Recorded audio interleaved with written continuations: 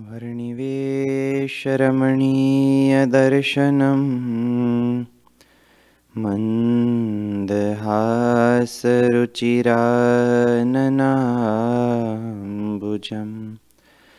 पूजितं सुरनरोत्तमैर्मुदा। धर्मनन्दनमहं विचिन्तये ॐ अवतारिणे श्रीस्वामिनारायणाय नमः। ॐ श्रीहरिकृष्णाय नमो नमः। ॐ श्रीगुरुचरणकमलेभ्यो नमो नमः। बोलो श्रीगणेशामहाराजनी जय। હરિકૃષ્ણ મહારાજની જય શ્રી સ્વામિનારાયણ ભગવાનની જય કથા સાંભળતા સર્વે ભક્તોને જય શ્રી સ્વામિનારાયણ ભક્ત ચિંતામણી ગ્રંથમાં સદગુરુ શ્રી નિષ્કુળાનંદ સ્વામી પરચા લખે છે જે મહારાજે પોતાના ભક્તજનોને પોતાના જે દ્રઢ આશ્રિત હતા પોતાના શરણાગત જે જીવો હતા તેમની કઈ કઈ પ્રકારે રક્ષા કરી તેનું વર્ણન કરતાં કરતાં નિષ્કોળાનંદ સ્વામીએ ગઈકાલે આત્માનંદ સ્વામીનો સૌ પ્રથમ પરચો વર્ણવ્યો કે આત્માનંદ સ્વામી સંતો સાથે વિચરણ કરતાં કરતાં ગામમાં ભિક્ષા માંગવા માટે જાય છે. ત્યાં ગામના લોકોએ સ્વામીને ઝેરવાળું અન્ન આપ્યું છે. પરંતુ તે સંતો જીવના કલ્યાણ માટે ફરતા. ત્યારે જમને, એમને જ્યારે એ ઝેરવાળું અન્ન જમ્યું, ત્યારે ઝેર તો પોતાનો પ્રભાવ દર્શાવવાનો છે આ લોક છે. માટે ઝેર એ સંતો પર પોતાનો પ્રભાવ દર્શાવે છે અને સંતો ઢળી પડ્યા છે. ત્યારે મહારાજ સ્વયં ત્યાં આવીને સંતોને કષ્ટ થકી ઉગારે છે. ત્યારબાદ નિષ્કોળાનંદ સ્વામી અનંતાનંદ સ્વામીની વાત વર્ણવી કે અનંતાનંદ સ્વામી ચાર સંતોને લઈને બુરાણપુર દેશ તરફ જઈ રહ્યા છે. ત્યાં વચ્ચે તાપી નદી આવી છે. તાપી નદીમાં ઘણું પૂર છે અને સંતો સ્વામી લખે છે કે ભોળા છે. માટે એમને કંઈ ખબર નથી રહેતી કે નદીમાં પૂર આવ્યું છે. આ નદીમાં આપણે જઈશું તો આપણે ડૂબી જઈશું. એવી રીતની ખબર નથી. છતાં પણ સંતો જ્યાં મહારાજને સંભાળતા સંભાળતા નદીમાં ચાલ્યા જાય છે. ત્યાં નદીમાં વચ્ચે ભમરી છે ને ભમરી સંતોને તરત પકડી લે છે ને સંતો ચાર ઘડી, એટલે કે છન્નું મિનિટ સુધી નદીના તળમાં રહે છે. અને એવી રીતે સંતો ડૂબી ગયા છે, છન્નું મિનિટ સુધી ડૂબીને રહ્યા છે, શ્વાસ નથી લીધો. ત્યારે મહારાજ સ્વયં પ્રગટ થઈને પોતાનું ઐશ્વર્ય દેખાડીને સંતોને પોતાની મૂર્તિના દર્શન આપીને એમને કષ્ટ થકી ઉગારે છે. અને તે જ પરચાની આગળ વાત નિષ્કુળાનંદ સ્વામી વર્ણવે છે. मनोहर सुन्दर मूर्ति छविनौ तमलोकियतिडमााहि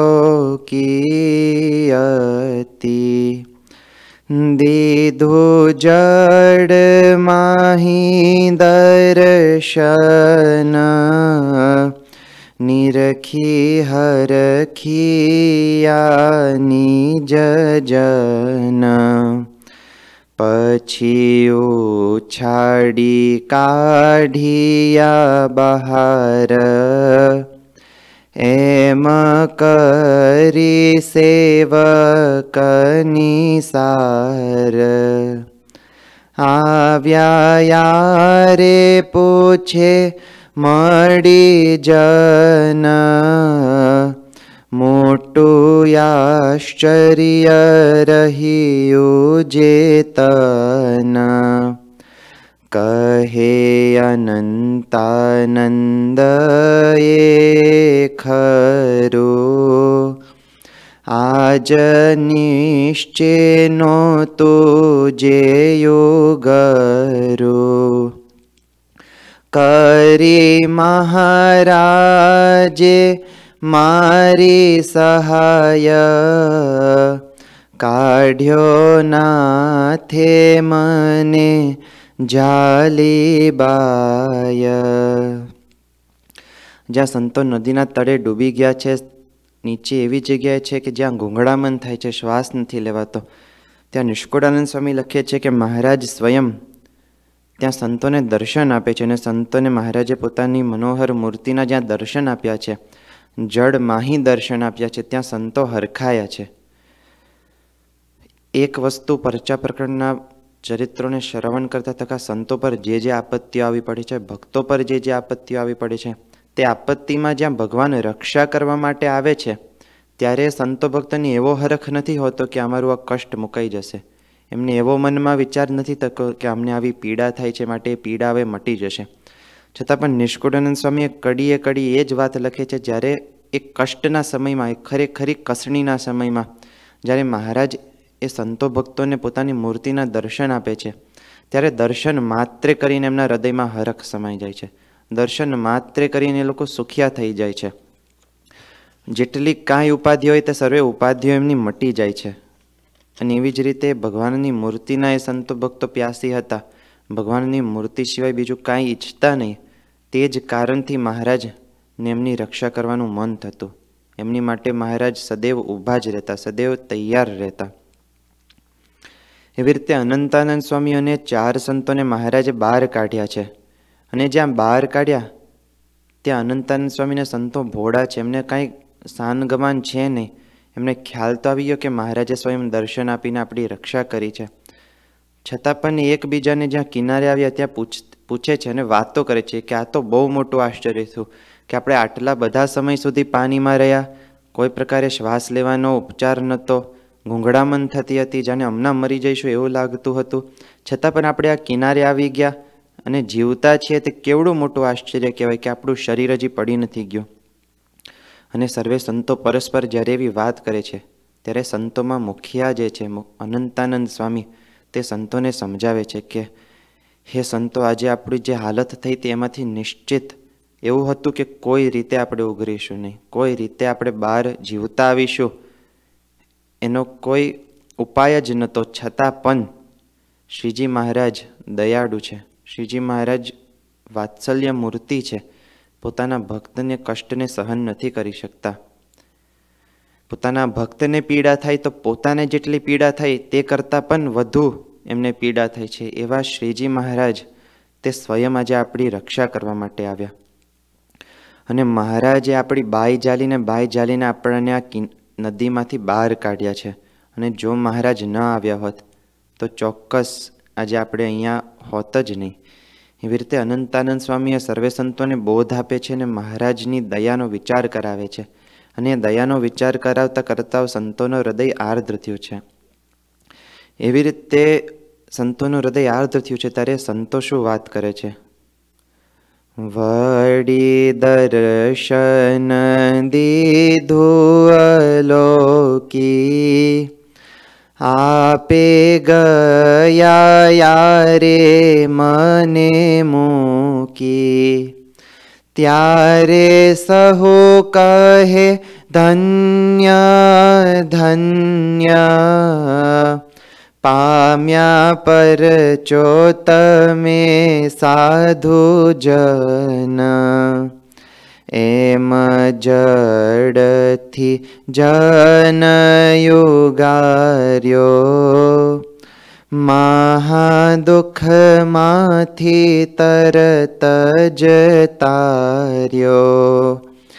ेवा हजार। प्रभु पूरे छे वारमवार। कहता लखतान आवे आन्त जे पाम्या प्रभु जि सन्त। घडी घडी पड पड माय। स्वामी करे सेवकनिसाय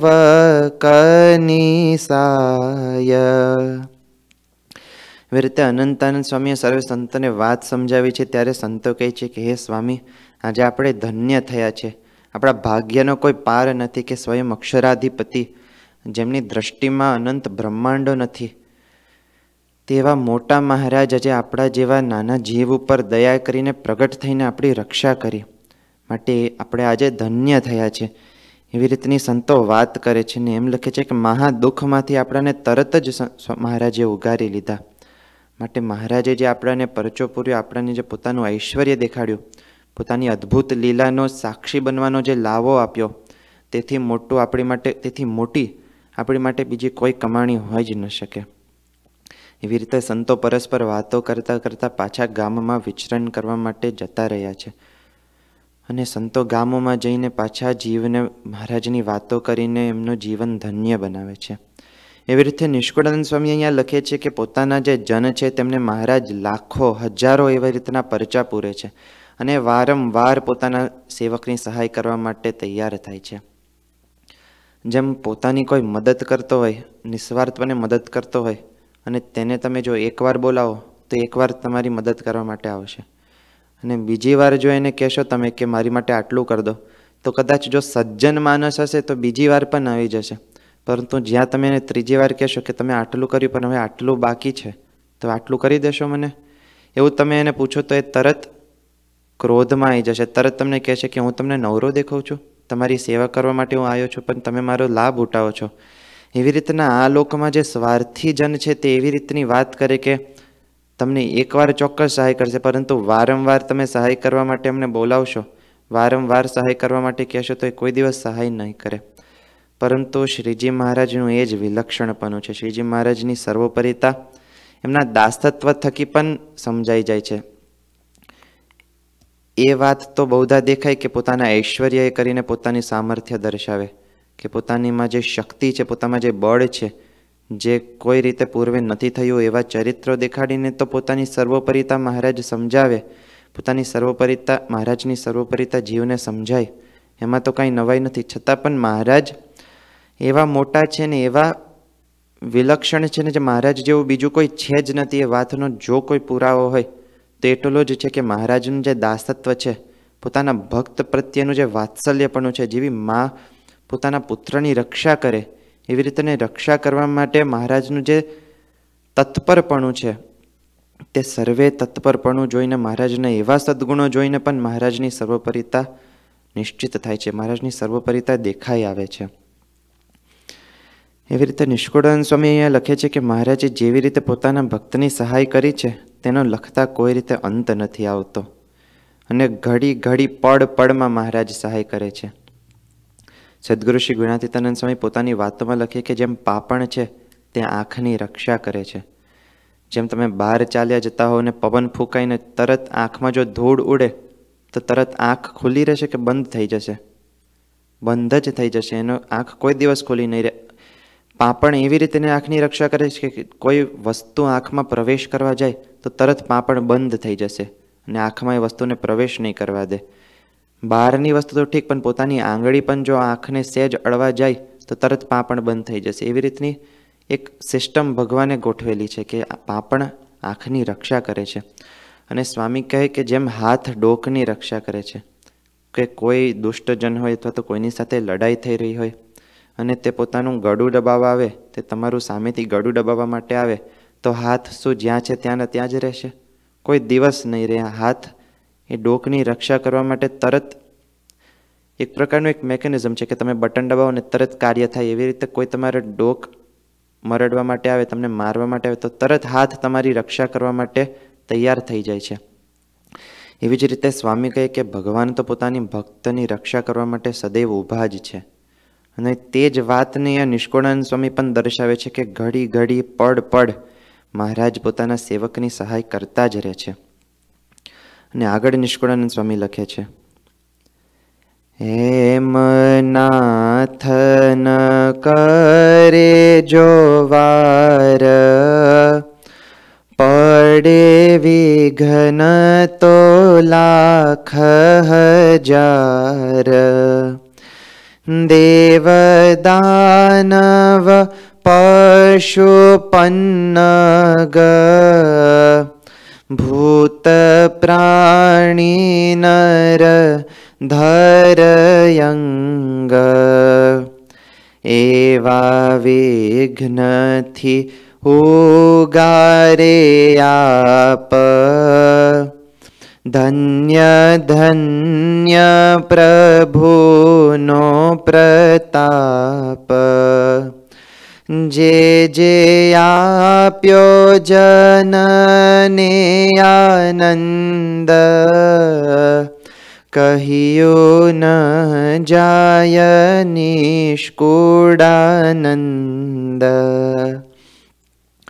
નિષ્કુળાનંદ સ્વામી લખે છે કે મહારાજ પોતાના ભક્તની સહાય પડે પડે કરે છે, ઘડીએ ઘડી કરે છે.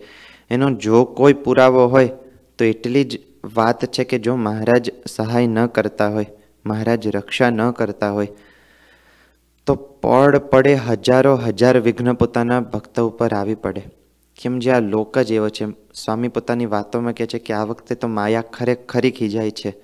અને એમ થાય છે કે ક્યારે આ જીવને હું પછાડું? એવી રીતની મહારાજ ખરેખરી ખીજાય છે છતાં પણ જેમ મહારાજ વચનામૃતમાં કહે છે કે જેને ભગવાનને ભગવાનના સંતને વિશે દ્રઢ નિષ્ઠા છે, તેનું કાળ કર્મ માયા પણ ભૂંડું કરવાની ઈચ્છે તો ભૂંડું નથી કરી શકતા. એવી રીતે જે કોઈ ભગવાનના શરણાગત થયા છે, ભગવાનના દ્રઢ આશ્રિત થયા છે, તેમની ભગવાન પડે પડે રક્ષા કરે છે અને જો પડે પડે રક્ષા ન કરતા હોય, તો હજારો હજાર વિઘ્નો એની પર આવી પડે એ વાતમાં કોઈ સંદેહ નથી. જેમ તમે પ્રાણી સંગ્રહાલયમાં ગયા હોય, ત્યાં તમે સિંહ જોવા ગયા હોય, હાથી જોવા ગયા હોય, ઇત્યાદિ હિંસક પ્રાણીઓને જોવા ગયા હોય, ઘણીવાર તો સાપ પણ ત્યાં હોય છે, તે સાપને તમે જોવા ગયા હોય. પરંતુ તે સાપ અને જે ઇત્યાદિક પ્રાણીઓ છે, તે જો પિંજરામાં પૂરાયેલા ન હોય, તો તમારી શું દશા થાય? તરત તમને મારવા એ પાછળ દોડશે. એ હિંસક પ્રાણીઓ છે. હિંસા કરવી એમની સહેજ વૃત્તિ છે.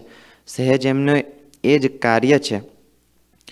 અને એવી જ રીતે માયા જે છે, તે ભગવાનની શક્તિ છે. છતાં પણ એનું કાર્ય એ જ છે કે જીવને પોતાના બંધનમાં લેવા. ગમે તેમ એ કરીને જીવ જેમ મોક્ષની જેમ સાપ સીડીની રમત છે, એમાં તમે ગમે તેટલા ઉપર નવ્વાણું સુધી પહોંચી ગયા છતાં પણ એક સાપ જો આવી જાય તો તરત તમને પાછા જ્યાં હતા ત્યાંના ત્યાં પાછા લઈ દે એવી રીતે માયાનું કાર્ય જે છે કે તમે ગમે તેટલા મોક્ષના માર્ગે સીડીએ ચડ્યા હો. છતાં પણ એ સાપનું કામ કરે છે. એનું કામ જ એટલું છે કે પોતાની જે ઉન્નતિ થાય છે તે તે માર્ગ થકી જીવને પાડવો. અને એ કાર્ય કરે છે, ભગવાનની ઈચ્છા જ કરીને કરે છે, કેમ ભગવાન સ્વયં પ્રથમના ચોત્રીસમાં વચનામૃતમાં કહે છે કે ભગવાને તો એવી કળ ચડાવી મૂકી છે કે કોઈ રીતે જગતનું પાછું એમને પોષણ કરવું પડે નહીં, પાલન કરવું પડે નહીં, એની પાછળ દ્રષ્ટિ ના કરવી પડે.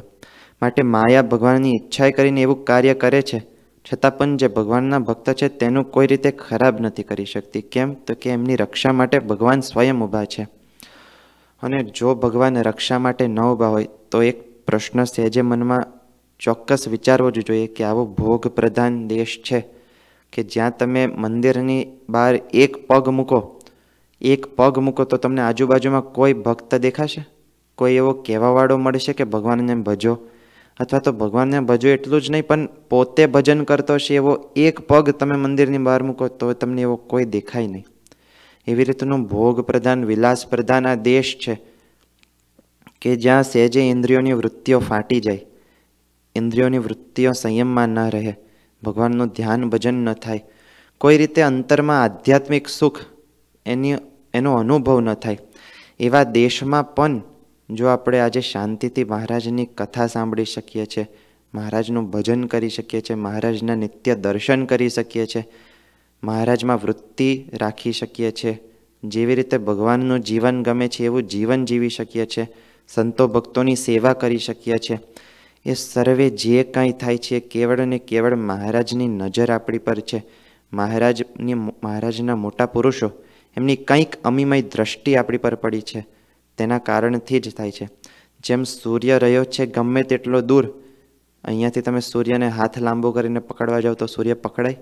કોઈ રીતે ના પકડાય. તમને લાગશે કે તમારી મુઠ્ઠીમાં આવી ગયો છતાં પણ એ તો તમારી મુઠ્ઠીમાં છે નહીં ને મુઠ્ઠી થકી ભિન્ન જ છે.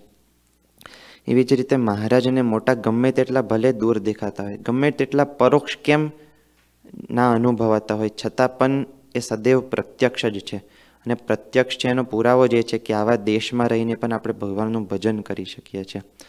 ગણાત્યાન સ્વામી તો પોતાની વાતમાં એમ કે છે કે જેમ ક્રૌચ પક્ષી છે, તે ગમે તેટલો દૂર હોય બાકી પક્ષીનો તો સહેજ સ્વભાવ એ જ છે કે પોતાનું ઈંડું જ્યાં હોય, તેની ઉપર એ બેસે.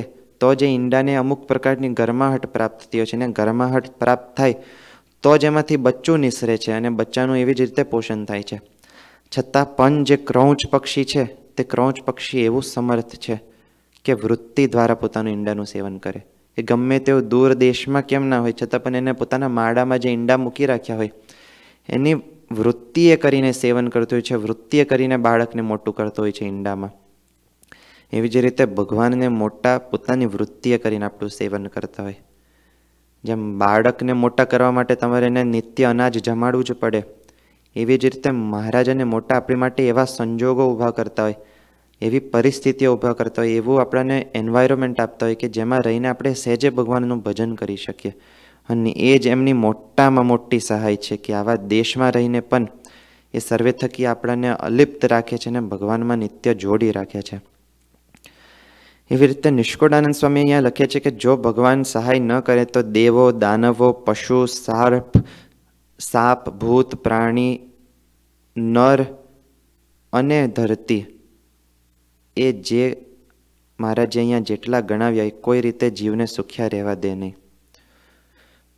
એક વાત તો છે કે દેવ, દાનવ, પશુ, સાપ, ભૂત, પ્રાણી, ધરતી ઇત્યાદિ તો જીવને કષ્ટ પહોંચાડી શકે, પણ નિષ્કુળાનંદ સ્વામીએ તો અહીંયા લખ્યું કે નર, પુરુષ જે છે, માનવ જે છે, માનવી પણ, માનવ પણ માનવીને નડે છે. એવી રીતનું ગોળ રીતે નિષ્કુળાનંદ સ્વામી અહીંયા કહી દે છે. માટે સર્વે કોઈ રીતે જીવને સુખ્યા રહેવા દેવા માટે એ લોકો તૈયાર નથી અને જીવને દુઃખ પહોંચાડવા માટે જ એમનું એક કર્તવ્ય છે એવું માનીને માયા ખીજાય છે. ત્યારે એવા વિઘ્નો થકી ભગવાન પોતાના ભક્તને ઉગારે છે. અને એ જ મહારાજનો પ્રતાપ છે ને એ પ્રતાપના કારણે નિષ્કળાનંદ સ્વામી લખે છે કે શ્રીજી મહારાજને ધન્ય છે ધન્ય છે. એવી રીતે અહીંયા એકસો ને પાંત્રીસમાં પ્રકરણ પૂર્ણ થાય છે. આગળ એકસો ને છત્રીસમાં પ્રકરણમાં. वडि कहुकवार्ता सुणो ते सर्वे जन। भीड पडे जरे भक्तने त्यारे भय हरे भगवन। करे सहाय हरि कष्टमा निज सेवकनि नरवीर। वसमि वेडाये वाल्यमो सुखया पेष्यामसु धीर सुखकारी दुखहारि धारी टेकये धरणी। धरनि दासनाय विनाशत्रास विनाश जिया जि जियानि जननि जगजीवने करिजतन सुणवु कहि संक्षेपमा मा सम्भडजो सहजन અહીંયા એકસો ને છત્રીસમાં પ્રકરણમાં સદગુરુ શ્રી નિષ્કળાનંદ સ્વામી લખે છે કે તમે સૌ સાવધાન થઈને સાંભળો. જે રીતે ભગવાનની ખુમારી તમારા હૃદયમાં વધે, ભગવાન પ્રત્યેની નિષ્ઠા તમારા હૃદયમાં વધે, ભગવાનનો વિશ્વાસ તમારા અંતરમાં દ્રઢ થાય તેવી વાર્તા હું તમને સંભળાવું છું કે જ્યારે જ્યારે પોતાના ભક્તની ઉપર ભીડ આવી પડે છે, પોતાના ભક્તની ઉપર એવી આપત્તિઓ આવી પડે છે ત્યારે ભય હરવા માટે મહારાજ સદૈવ ઊભા જ છે, સદૈવ તૈયાર જ રહે છે અને જેવી રીતે મહારાજ પોતાના ભક્તની સહાય કરે છે, તેવી સહાય કરીને વશમી વેળાએ જ્યાં કોઈ એ જીવની સહાય કરવા માટે તૈયાર નથી, આ સ્વાર્થી જગતમાં જ્યારે કોઈ સગા નથી રહેતા, કોઈ સંબંધીઓ નથી રહેતા, સર્વે પોતે જે કાંઈ ઉપકાર કર્યો હોય તે ઉપકારને ભૂલીને પણ એની સહાય કરવા માટે જ્યારે કોઈ આવતું નથી ત્યારે કેવળ અને કેવળ શ્રીજી મહારાજ અને તેમના સંતો તે ભક્તની રક્ષા કરવા માટે ભક્તને સુખ કેમ થાય એવી રીતના વિચાર કરતાં કરતાં એ લોકો ત્યાં મહારાજ અને સંતો તૈયાર થઈને આવે છે. અને સ્વામી લખે છે કે મહારાજની તો એક જ ટેક છે કે ગમે તેવી રીતે આ જીવ મારો આશ્રિત થયો છે તેને સુખ આપવું અને તેને દુઃખનું હરણ કરવું. કોઈ રીતે તેના પર દુઃખ ન થાય, એને અંતરમાં દુઃખ ન થાય, તેવી રીતનું આચરણ કરવું, તેવી રીતની એની રક્ષા કરવી, એ જ મહારાજે ટેક ધારણ કરી છે. અને નિષ્કોડાનંદ સ્વામી તો એમ લખે છે કે, ત્રાસ વિનાશન રીત ઘરણી. મહારાજે જે આ ટેક ધારણ કરી છે, તે સ્વામી લખે છે કે, પોતાના ઘરની રીત મહારાજે પ્રગટાવી છે. તે જ કારણથી નિષ્કુળાનંદ સ્વામીએ પુરુષોત્તમ પ્રકાશના સાર રૂપે જે ધોળનું પદ લખ્યું છે, તેમાં સ્વામી એ જ વાત લખી છે કે, નોતી દીઠી, નોતી સાંભળી. પ્રગટાવી એવી પુનિત પુરુષોત્તમ પ્રગટી રહે. જે રીતનું કોઈ દિવસ આપણે પૂર્વે સાંભળ્યું નહોતું, જે રીતને પૂર્વે દીઠી નથી કે આવી રીતે મહારાજ પડે પડે, ઘડીએ ઘડીએ પોતાના ભક્તની રક્ષા કરવા માટે ઊભા છે. રક્ષા કરવા માટે સદૈવ તત્પર રહે છે. એવી જે રીત છે, કોઈ દિવસ સ્વામી કે પૂર્વે દીઠી પણ નથી, પૂર્વે સાંભળી પણ નથી, શાસ્ત્રોમાં વાંચી પણ નથી. અને એ રીત આજે મહારાજે પ્રગટ કરી છે. અને રીત મહારાજે સ્વયં પોતાના ઘરની પ્રગટ કરી છે. એવી રીતે નિષ્કુળાનંદ સ્વામી લખે છે કે જ્યાં જ્યાં પોતાના જનની જગ જીવને જે જગનું પણ જીવન છે, જેના થકી આ સમગ્ર સૃષ્ટિ છે, સમગ્ર સૃષ્ટિનો નાશ થાય છે, એવી રીતના જીવન છે. મહારાજ સમગ્ર પૃથ્વીના નહીં, પણ અનંત બ્રહ્માંડોના પોષક તત્વ છે.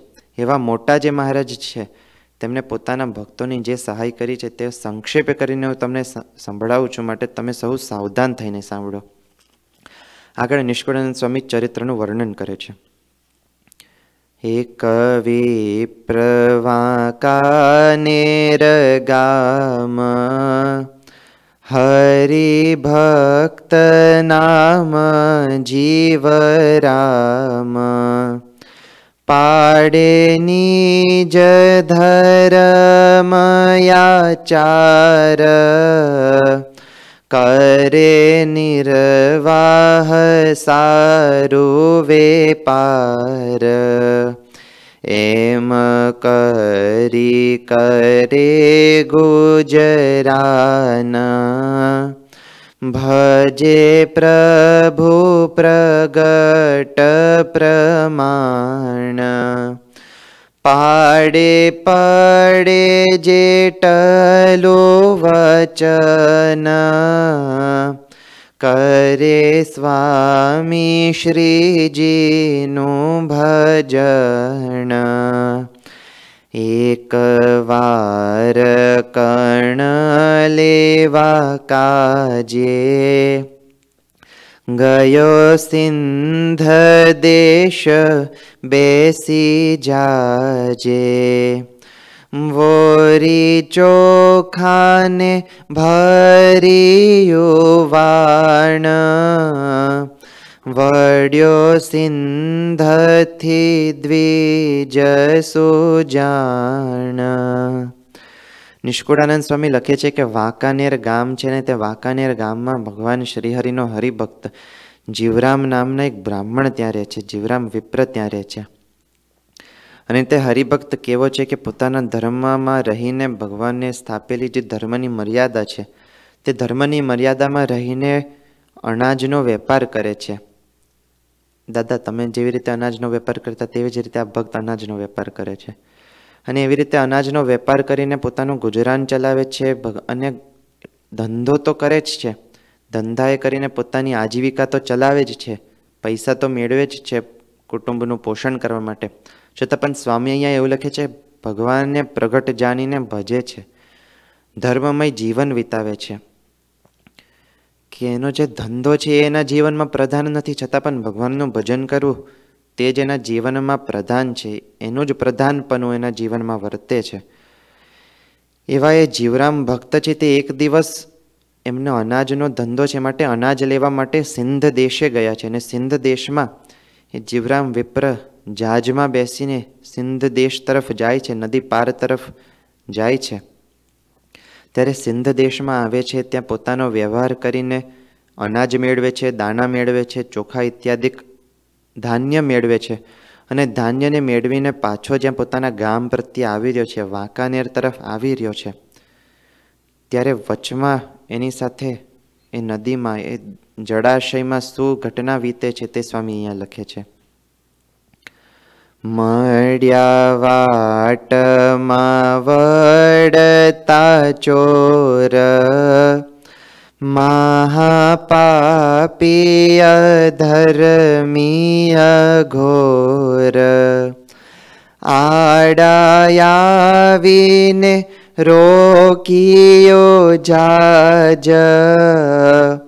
माल मिलकत लोटवा काज ेडी बेडी बाधि लिधि।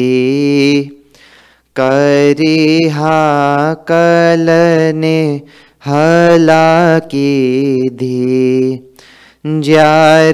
चोर नावे आवी चड्या ત્યારે ખેવટ પાણીમાં પડ્યા.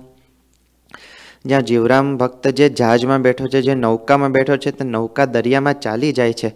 ત્યાં વચમાં એની સાથે શું વીતે છે તે સ્વામી લખે છે કે વચમાં અચાનક તે નાવમાં જોયું ચોર લોકોએ કે ઘણી પ્રકારની સંપત્તિ છે, ઘણા પ્રકારના દાના છે. અને બહુ બધો માલ છે, માટે આ માલને જો આપણે વેચી દઈએ તો આપણને ઘણી પ્રકારનો ધન પ્રાપ્ત થશે. એવી રીતના દરિયામાં જે ચોર લોકો ફરે છે, તેમણે જ્યારે આ જહાજને જોયું છે, ત્યારે એમને પોતાના મનમાં યુક્તિ વિચારી છે કે ગમે તે રીતે આ જહાજને રોકી પાડીએ અને એનો જે માલ છે તે સર્વે આપણે લઈ લઈએ. એવી રીતે જહાજને રોક્યું છે માલ મિલકત લૂંટવા માટે. અને એટલું જ નહીં, પણ નાવની જે બેડી છે તે સાથે પોતાના નાવની બેડી બાંધી દીધી છે. અને તરત એ લોકો નાવની અંદર પેસી ગયા છે. નાવની અંદર જ્યાં પેસી ગયા, ત્યાં જે નાવનો ખેવટ હતો, જે નાવને ચલાવનાર હતો, તે તરત નાવમાંથી બહાર કૂદી પડ્યો છે પાણીમાં. અને નાવમાંથી બહાર કૂદી પડ્યો માટે નાવમાં હવે કોણ રહ્યું? તે જીવરામ ભક્ત જ રહ્યા છે. અને જીવરામ ભક્તની હવે ચોર લોકો શું દશા કરે છે? એમની ઉપર શું માર મારે છે? કેવી રીતની એમની ઉપર પીડા ઉપજાવે છે? તે સ્વામી અહીંયા લખે છે. रहियो जीव रामयकजेह तर्त जालो चोरेते बाध्या पा वाडि नेबेहा હાથ માર્યા માથામાં છરા છો સાત પછી જીવ તો જડમાં નાખી બેડી હાકી ગયા ઘેર આખી પડ્યો જીવ રામ જડમાય તરે તન જીવ નવ જાય. નિષ્કુળાનંદ સ્વામી અહીંયા જીવરામ ભક્તની જે કરુણમય સ્થિતિ થઈ છે તે સ્વામી વર્ણવે છે કે જીવરામ એકલો છે નાવમાં. તેવું જે દુષ્ટ લોકો છે જેમના હૃદયમાં કોઈ પ્રકારની દયા નથી. એવા જે ચોર લોકો છે તેમને જ્યારે જોયું છે, ત્યારે તરત એમણે જીવરામ ભક્તના બેવ હાથ બેડીએ કરીને બાંધી દીધા છે. અને જ્યાં જીવરામ ભક્તના હાથ પાછળ બાંધી દીધા, એટલું જ નહીં, પણ જીવરામ ભક્તના માથામાં એ લોકોએ છ, સાત વાર છરા માંડ્યા છે.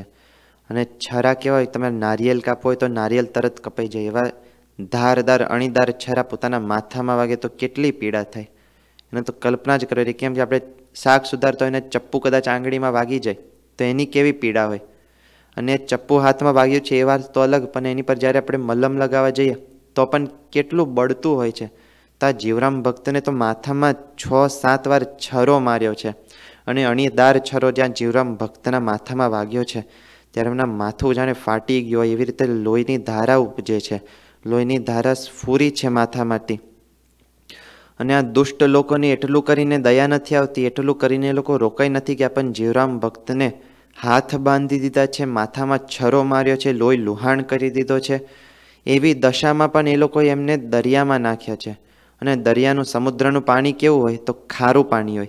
હવે ગમે તેટલું તમને લોહી નિસરતું હોય અને લોહી પર તમે મીઠું ચોપડો, તો કેવી દાજ થાય? જેટલી દાજ થતી હોય તે તકી દ્વિગુણી ત્રણ ગણી વધારે દાજ થાય. અને જીવરામ ભક્તને તો માથામાં છરા વાગ્યા છે. માથું ફાટી ગયું છે ને એવી દશામાં પણ આ દુષ્ટ લોકોએ, નિર્દય લોકોએ ભક્તને સમુદ્રના ખારા પાણીમાં નાખ્યા ત્યાં એ ખારાશની લીધે એની પીડા અતિશય વધી ગઈ છે. એમના થકી રહેવાતું નથી. તડ ફળે છે એ પાણીમાં. અને પાણીમાં તડ ફળે છે છતાં પણ આજુબાજુ એમની સહાય કરવા માટેનો કોઈ નથી. જીવરામ ભક્તની સહાય ત્યાં દરિયામાં તરી રહ્યા છે. અને તરી રહ્યા છે ત્યારે શું થાય છે એમનું? તે સ્વામી અહીંયા આગળ લખે છે. પછી વી પરે કર્યો વિચાર, પડ્યું દુઃખ તે આ જય પાર. કેમ જાતા નથી હજી પ્રાણ? આશુ બોડતો નથી મેરાણ કરે વિનતી વારમવાર કરો સ્વામી સહજાનંદ સાર આવો વહેલા છોડાવીએ તન. બીજી ઈચ્છા નથી, હવે મન. જીવરામ ભક્ત જેમના માથામાં છરા વાગ્યા છે ને લોહી લુહાણ જેમનું શરીર થયું છે, પાછા ખારા સમુદ્રમાં પડ્યા છે ને ખારાશે કરીને જેમની પીડા અતિશય વધી ગઈ છે. એવી દશામાં જે જીવરામ ભક્ત છે, તેમની ઉપર જાણે આપત્તિઓનો પહાડ આવી પડ્યો હોય એવી રીતે આવી દશા થઈ છે, છતાં પણ એમના પ્રાણ નથી જતા. પ્રાણ નથી જતા માટે એ દરિયામાં તરે છે ને તડ ફળે છે. એક વાત તો નક્કી છે કે મૃત્યુ તરત આવી જાય. તેમાં જેવી રીતની પીડા નથી થતી એવી એના કરતાં કઈ ઘણી પીડા જ્યારે તડફડીને કોઈ જીવ પ્રાણી મરે છે, ત્યારે એને પીડા થાય છે. જેમાં શિકારી લોકો હોય તે હાથીને મારવા માટે, એના જે દાંત છે એને કાઢવા માટે એવી સાજિશ રચતા હોય છે કે ભૂમિમાં એક મોટો ખાડો ગાળે અને ખાડામાં જ્યારે હાથી પડી જાય, એને ખબર નથી એ ચાલ્યો જાય છે, ત્યારે જ્યારે ખાડામાં પડી જાય છે, ત્યારે ઘણા દિવસ સુધી એ ખાડામાં એ લોકો હાથી જેવા મોટા પ્રાણીને પૂરી રાખે છે. અને એને ખાવા માટે અન્ન નથી આપતા, પીવા માટે પાણી નથી આપતા. એવી રીતની જ્યારે હાથીની દશા થાય છે, ત્યારે તડફડીને પ્રાણી મરે છે. એવી જ રીતની દશા અહીંયા જીવરામ ભક્તની થઈ છે કે તડફડીને મરવા તૈયાર થયો છે. અને ઘણીવાર આપણે ચરિત્રો થકી, મોટા મોટા સંતોના મુખ થકી સાંભળ્યું છે પૂજ્યપાદ ગુરુજીના મુખ થકી પણ સાંભળ્યું છે કે ભગવાનના ભક્તનો જ્યારે અંતસમો આવે છે, ત્યારે જે માખણમાંથી તમે વાળ કાઢો, એવી રીતે એના પ્રાણ નિસરી જાય છે. તો પછી જીવરામ ભક્તના અહીંયા પ્રાણ કેમ નથી નિસરતા? એવી શંકા જો થાય તો એનું કારણ અને એનું સમાધાન એટલું જ છે કે મહારાજને પોતાના ભક્તનો એક દ્રષ્ટાંત આપીને જગતના જીવોને અને જગતના જીવોને જ નહીં, પણ જે ભગવાનના આશ્રિત છે, ભગવાનના ભક્ત છે, એમને પણ સમજાવવું છે કે તમે મારું ભજન કરો. તો તમારું જીવન સહેજે સુખમય જીવાશે એ વાતની આશા ન રાખવી. તમારી ઉપર પણ પીડા આવી પડશે. એવી રીતનો મહારાજ આ ચરિત્ર દ્વારા સંદેશ આપતા એમ જણાય આવે કેમ જે ભગવાનને ભજીને સુખિયા તો થવાનું જ છે, પણ આ લોક એવો છે કે એમાં જેમ ઉંદર, ઉંદરની પીડા જો થતી હોય પોતાની દુકાનમાં અથવા તો ઉંદરનું ઇન્ફેસ્ટેશન થઈ ગયું હોય તમારી જગ્યામાં, જાયગામાં, તો એ ઉંદરને ચોંટાડવા માટે જેમ એક ગુંદરનું પેડ મૂકે છે. લોકો કે ગુંદર પર ઉંદર ચોંટી જાય. તો ગમે તેટલી મહેનત કરે તો પણ એ થકી બહાર ના નીકળી શકે. એવી રીતે આ લોક જ એવો છે કે એમાં સહેજે ભગવાને એવું ગુંદર ચોંટાડ્યું છે, એવું ગુંદર ચોંટાડ્યું છે કે જીવ સહેજ જો ચાલશે એમાં, સહેજ જો બંધનમાં આવશે, તો કોઈ રીતે ગુંદર થકી એ બહાર નહીં નીકળી શકે. એવી રીતનો આ લોક છે, માટે ભગવાન પોતાના ભક્તને દુઃખ આપતા જ રહે છે.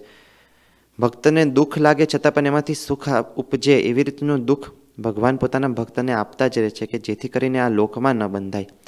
એવી રીતનું મહારાજ પોતાની ઈચ્છાએ કરીને જીવરામ ભક્તના જીવન થકી, એમના દ્રષ્ટાંત થકી એક સિદ્ધાંતને સ્થાપવા માટે જીવરામ ભક્ત પર આવી રીતની પીડા મહારાજની ઈચ્છાએ કરીને ઉપજી છે. અને એવી પીડા જ્યારે જીવરામ ભક્ત પર ઉપજી છે, ત્યારે જીવરામ ભક્ત જે કેવળ મહારાજના જ આશ્રિત છે, મહારાજનું જ ભજન કરે છે, મહારાજનો જ એમને આશરો છે.